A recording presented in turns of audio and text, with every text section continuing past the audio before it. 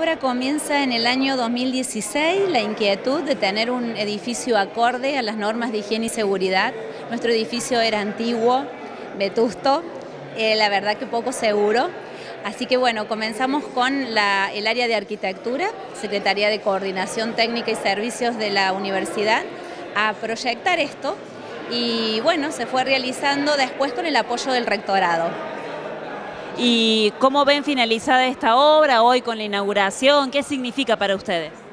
Para la facultad y, para la universidad en su conjunto, para nosotros es un hito, es un antes y un después tener un edificio de estas características con todas las mejoras para los trabajadores que todos los días vienen y van a tener mejor iluminación, mayor seguridad, sanitarios acordes, espacios comunes con las medidas de higiene y seguridad. Para nosotros es un sueño hecho realidad, realmente estamos muy contentos.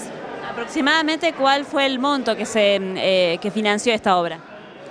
Eh, exactamente no lo tenemos porque se comienza el proyecto con un presupuesto y después las obras a veces se van extendiendo, los procesos licitatorios son extensos, las situaciones también económicas del país varían y eso repercute también en el presupuesto de la universidad.